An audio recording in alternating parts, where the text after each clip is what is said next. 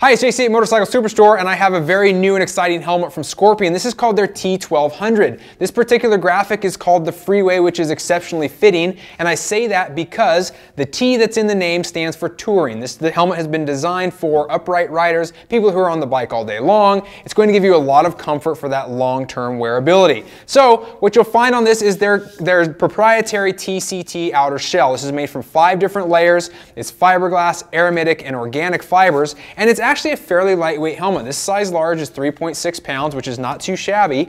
And on top of that, it has some really nice features built into it. Now, if you don't like the freeway, you can get different graphics, but I don't know how you can avoid liking the solid or the flat and the gloss because it looks fantastic.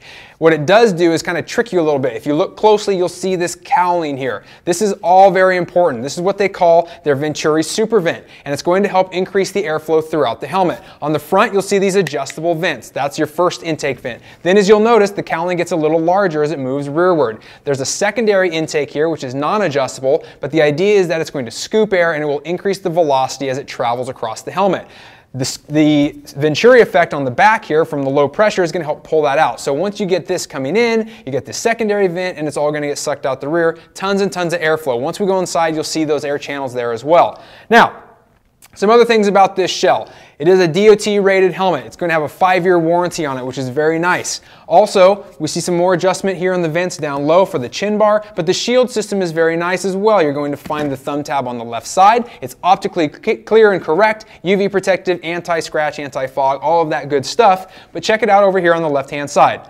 This gives you a couple of options of how to run this shield. You can either crack it at low speeds, you have your standard mode so it opens and closes, or you can lock it into place if you'd like to. Also, on top of that, you have this mechanism, which is your drop-down visor. This is what they call their Speedview system, and it's a special system because one, it's great. You're gonna have it with you. You don't have to carry your sunglasses if you don't want to, even though it is designed to allow eyeglasses very easily. But more importantly, you can adjust it even further. So this little tab right here, or this little screw rather, you're going to be able to adjust three different positions, and that will raise or lower this by a couple millimeters either way. That's going to get that bottom line out of your vision, hopefully, and be a little bit more comfortable for you to ride over longer periods. Another cool thing about the Shield is it does have the tool-free uh, uh mechanism here. Very easy. It's called the Eliptec face shield, so you can pull it off. Very simple. As we go inside the helmet, you'll see all of this new liner system. This is their QuikWik 3. It's extremely comfortable. It feels almost like a memory foam, and it's going to be moisture wicking. It's going to be antimicrobial. It's extremely comfortable to wear. Also, it gets D-rings, but they're titanium, so that's a nice little feature. It helps with the weight savings just a bit.